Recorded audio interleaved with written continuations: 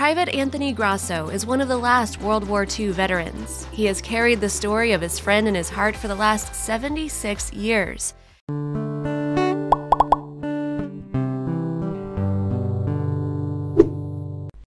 When he realized time was running out to pay final respects to his friend, the 96 year old veteran travels 900 miles to salute a fallen soldier's grave, and it's a powerful story. Anthony was still a kid when he entered the war. Merely a young buck at the age of 19, he didn't know much about the world except that there was a war and he was leaving home to fight. When Private Anthony Grosso came home several years later, he wasn't the same man. He loved life a little more and cherished family a little deeper. God, the United States, and the American flag also held deeper meanings in the depths of his soul as he carried the memories of what happened overseas on enemy soil. He remembers men living in foxholes. He remembers going to one of the deadliest regions of the European theater, the Hurtgen Forest, and those who lost their lives. This included the man who saved his life, Army Private Lieutenant Frank DeBose. Anthony was serving as Frank's private radioman when they were on a mission to scout enemy positions in Germany when the covert operation went sideways. Their positions had been found and targeted by enemy fire. They knew they weren't getting out alive. There was artillery fire, and the next thing I knew, I was flying 30 feet through the air, he said. A howitzer shell hit the pair just as Frank pushed Anthony away to grab the radio. He took the brunt of the blow, and I'll never forget it. His friend sacrificed his life so that Private Anthony Grosso could live. Can you imagine? Can you imagine losing your friend in one of the most profound and sacrificial ways possible?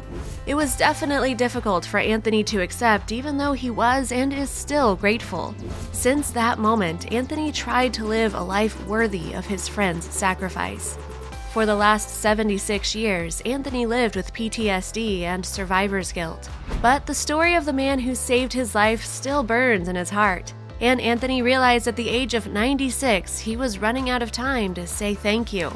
After putting plans together with his family, he learned where his friend was buried and then trekked over 900 miles to South Carolina to lay his hands on Frank's gravestone to say thank you on this side of heaven.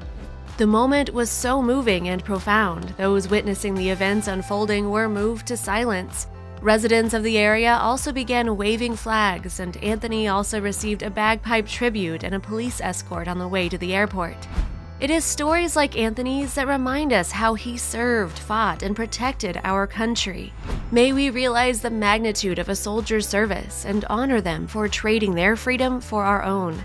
Thank you, Anthony, and thank you, Frank. The world is filled with stories going viral every single day. But how many of these sites can you actually follow? We understand that your day should start with positive stories, stories that resonate with you. And so we started JoJo Stories. Our mission is to create meaningful stories that cover everything from animals to anthropology, history to environment and lifestyle. The kind of content you read on our site will be one you'll want to share with your family and friends. We hope you'll join our growing family and be part of our community. Welcome to JoJo Stories jojostories.com.